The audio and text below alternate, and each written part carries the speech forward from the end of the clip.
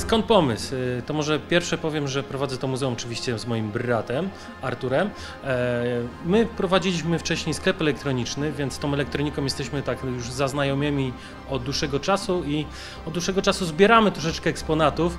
No i tak z tej ilości, która się zbierała, już przestała się powoli mieścić e, też w domu. Przenosiliśmy to powoli do firmy, no i tak powoli przekształciło się to właściwie w muzeum.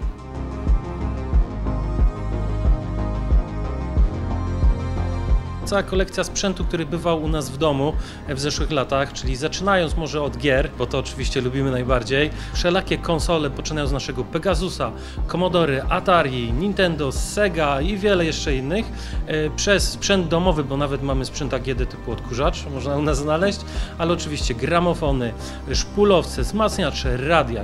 Jeśli chodzi o takie ulubione modele, to może zacznę od radia, to mamy taki model fajny Pioniera e, produkcji Diory z 1949 roku, to jest Pionier U2 właściwie, więc to jest taki dość wiekowe, powojenne radyjko w dosyć ciekawej obudowie.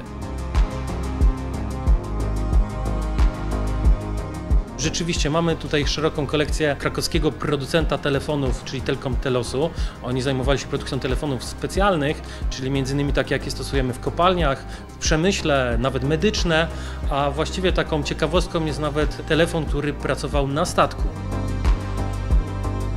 Z racji mm, dosyć szerokiego spektrum tutaj eksponatów, e, na pewno dobrze będą się bawiły u nas dzieci, ale tak samo dorośli znajdą tutaj e, jakieś ciekawostki i cofną się w czasie. Polski Związek Niewidomych, Okręt Małopolska, dostaliśmy certyfikat miejsce przyjazne osobom niewidomym i słabowidzącym, e, ponieważ u nas w muzeum nie ma żadnych barier, każdy przedmiot można dotknąć, poczuć jak te przełączniki, jak te potencjometry działają, jak ten fornir, którym pokryty jest radio, e, czuć pod ręką, e, więc nie tak jak w innych muzeach, że wszystko jest pochowane, u nas wręcz odwrotnie. E, Chcemy, żeby zwiedzający dotykali tych wszystkich przedmiotów. No i właśnie dzięki naszym możliwościom niewidomi tutaj u nas dobrze się czują, ponieważ każdy eksponat mogą wziąć do ręki po prostu i na swój sposób wyobrazić sobie go, jak on wygląda. Pracujemy też z CAS-em, czyli z Centrum Aktywności Seniora, ponieważ prowadzimy dla nich takie specjalne zajęcia, tutaj, żeby troszeczkę seniorom tą elektronikę przybliżyć, ale także doszkalamy ich, jeśli chodzi o